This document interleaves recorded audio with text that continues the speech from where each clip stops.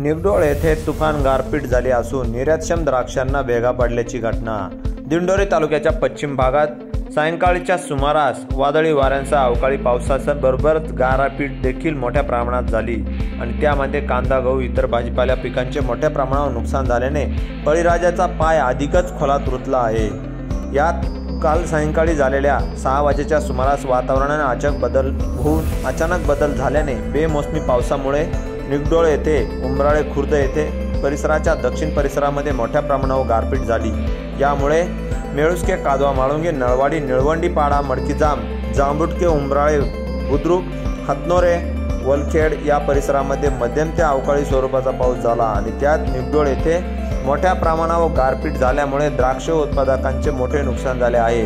प्रशासनाने येथील पंचनामे त्वरित करण्याची मागणी निगडोळ येथील ग्रामस्थांनी केली असून त्यामध्ये योगेश मालसाने राजू मालसाने भाऊसाहेब मालसाने तुकाराम मालसाने शिवाजी मालसाने केशव मालसाने निवर्ती मालसाने दीपक मालसाने तुकाराम मालसाने अनिल मालसाने या सर्व शेतकऱ्यांचे द्राक्ष बागेला तडे जाऊन गारपिटीने अतिशय आतोनात नुकसान झाले आहे. तरी शासनाने यांना त्वरित मदत करावी अशी मागणी करण्यात आली आहे.